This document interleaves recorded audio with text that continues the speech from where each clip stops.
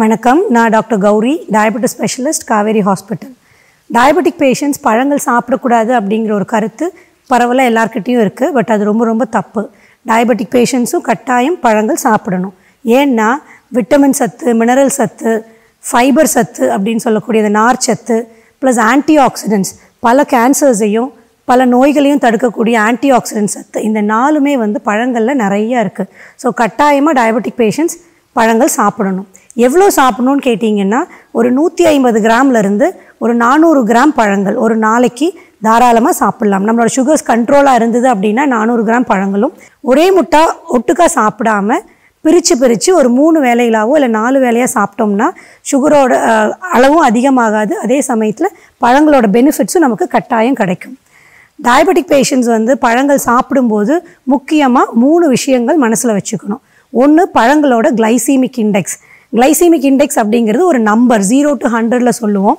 ஒரு பழம் சாப்பிட்டோம்னா எவ்வளோ வேகமாக சுகர் கூடுதுங்கிறத குறிக்கிறது தான் அந்த கிளைசிமிக் இண்டெக்ஸ் டயபெட்டிக் பேஷண்ட்ஸ் வந்து லோ கிளைசிமிக் இண்டெக்ஸ் உள்ள ஃப்ரூட்ஸ் எடுத்துக்கிறது ரொம்ப ரொம்ப அவசியம். அப்போ தான் சுகரோட அளவு கூடாமல் இருக்கும். ரெண்டாவது பழங்களை ஜூஸ் ஆக்கி வடிகட்டி குடிக்காமல் மொத்தமாக பழங்களை சாப்பிடும்போது பழங்கள்லேருந்து கிடைக்கக்கூடிய நார் சத்து அப்படியே நமக்கு முழுமையாக கிடைக்கும்.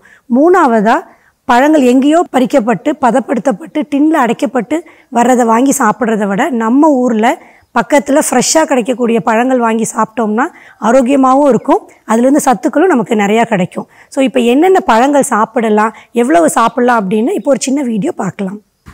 வணக்கம்.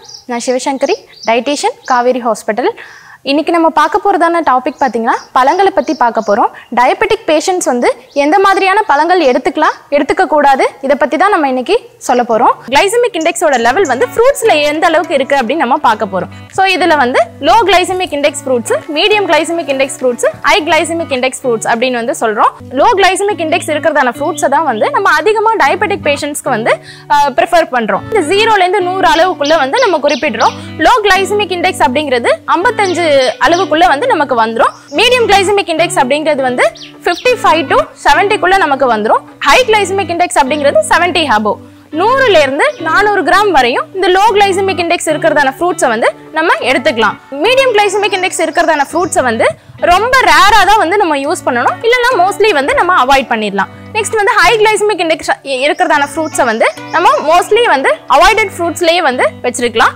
லோ கிளைசமிக் இண்டெக்ஸ் பொறுத்தளவில் லோ கிளைசமிக் இண்டெக்ஸ் ஃப்ரூட்ஸ் எதெல்லாம் வரும் அப்படின்னு பார்த்தோம்னா நவாப்பழம் ஆப்பிள் திராட்சை செர்ரீஸு சாத்துக்குடி கிவி ஃப்ரூட்டு கொய்யாப்பழம் பேரிக்காய் ஸ்ட்ராபெரி இது எல்லாமே வந்து நமக்கு லோ கிளைசமிக் இண்டெக்ஸ் ஃப்ரூட்ஸில் வருது. இது எல்லாமே வந்து சர்க்கரை நோயாளிகள் எடுத்துக்கலாம். நான் சொன்ன கிராமில் நூறுலேருந்து நானூறு கிராம் வரையும் டைமிங் பிரித்து இது எல்லா பழங்களையும் வந்து நம்ம எடுத்துக்கலாம். மீடியம் கிளைசிமிக் இண்டெக்ஸ் இருக்கிறதான ஃப்ரூட்ஸ் எந்த மாதிரியான ஃப்ரூட்ஸ் அப்படின்னு நம்ம பார்த்தோம்னா மாம்பழம் வாழைப்பழம் அன்னாசி பழம் பப்பாளி பழம் முலாம்பழம் காஞ்ச திராட்சை காஞ்ச அத்திப்பழம் இந்த மாதிரியான பழங்கள்லாம் வந்து நம்ம சேர்த்துக்கலாம். இதெல்லாம் வந்து டெய்லியுமே கூட நம்ம ஒரு நூறு கிராம் அளவு கூட எடுத்துக்கலாம். பட் அதிகமா வந்து இந்த பழங்களை வந்து நம்ம எடுத்துக்கிறத முடிஞ்ச அளவுக்கு தவிர்க்கணும். ஹை கிளைசமிக் இண்டெக்ஸ் இருக்கிறதான ஃப்ரூட்ஸை வந்து முடிஞ்ச அளவுக்கு தவிர்க்கக்கூடிய பழங்களை தான் வந்து ஹை கிளைசமிக் இண்டெக்ஸ் ஃப்ரூட்ஸ் வந்து வரும். இதுல என்ன மாதிரியான பழங்கள் வரும் அப்படின்னு பார்த்தோம்னா தர்பூசணி டேட்ஸ் உலர்ந்த பழங்கள்லையுமே வந்து ஓரளவுக்கு கிளைசமிக் இண்டெக்ஸ் வந்து அதிகமாக தான் இருக்கும். ஸோ இது எல்லாமே வந்து நம்ம சர்க்கரை நோயாளிகள் எடுத்துக்கலாம். பட் என் நம்மளோட சர்க்கரையோட அளவு வந்து எதை பொறுத்து இருக்கு அப்படின்றதுல வந்து நம்ம எடுத்துக்கலாம். இப்போ வந்து தர்பூசணி பப்பாளி பழம் முலாம்பழம் இதெல்லாம் பார்த்தோம்னா ஒரு ஒன் ஆர் டூ பீசஸ் வந்து நமக்கு என்எஃப் ஒரு ஹண்ட்ரட் கிராம் வந்து நம்ம எடுத்துக்கலாம். அதுக்கு மேலே வந்து இந்த பழங்கள் எல்லாமே நம்ம அதிகமாக எடுத்துக்க கூடாது. ஸோ உங்கள் டயபெட்டிக் டாக்டர் அட்வைஸ் படி இந்த பழங்கள் எல்லாம் வந்து உங்கள் அன்றாட உணவு முறையில் நீங்கள் சேர்த்துக்கலாம். நன்றி.